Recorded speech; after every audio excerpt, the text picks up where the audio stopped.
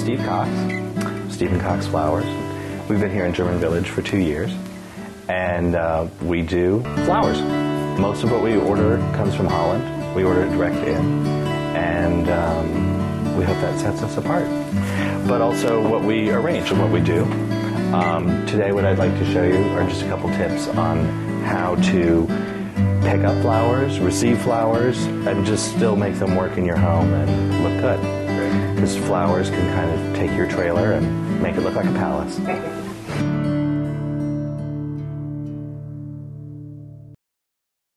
Cut them short and sweet and use them wherever you want. You can still group them or put that one maybe in your bedroom and then you can put these others maybe since you've got three little matching vases you could put them like down your dining table or something. There are a lot of great sources for little vases like this, be they Grandview Mercantile in the short north where they have little collections of things, or um, Crate and Barrel.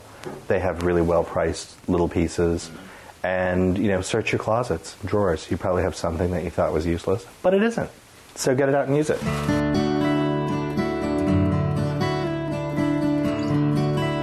Now, one trick I did on this one was taping the face, which you can use plain old scotch tape, or you can use fancy foil tape, which is just a little narrower. Um, this will help with a wide mouth vase, like that square one, where otherwise you couldn't get all those tulips to stand up.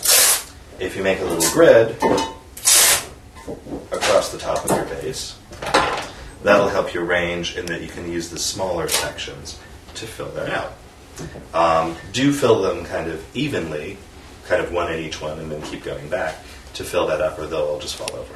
So this is only three times this flower, but it looks like five. Right?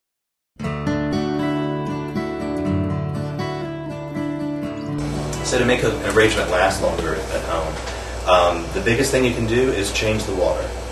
Um, a lot of people will give you little floral packets. I don't believe in that. I think it's a bunch of bunk.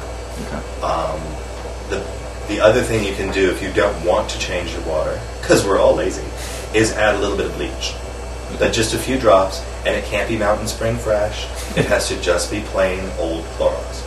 Uh, that will keep the water from getting really funky, and especially in a vase with a narrow neck, something like this, on a bigger scale, if this were glass and you're looking down in there and it gets funky, the bleach will clean that out.